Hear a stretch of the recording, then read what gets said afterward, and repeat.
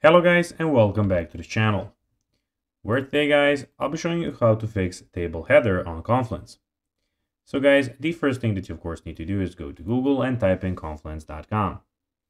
After that, you just need to go and log into your profile or register to Confluence if you haven't already done that of course. But now guys, let's see how you can actually go and fix table header on Confluence. So to fix or make table headers sticky in Confluence, you need to enable sticky headers. In Confluence, the first row of tables can be set as a sticky header by default. This ensures that the header remains visible while scrolling. However, this feature might not work if the table is inside a layout section or another macro, or the table lacks a designed header row. So be careful with that. Then if the default sticky header doesn't work, you can use the table filter and charts for the Confluence app. This paid add-on allows you to freeze multiple rows or columns. Ensure your table isn't nested within other elements like macros or layout sections, as this can interfere with the sticky headers. If sticky headers aren't feasible, considering splitting your table into smaller sections or using Excel-like macros for better functionality.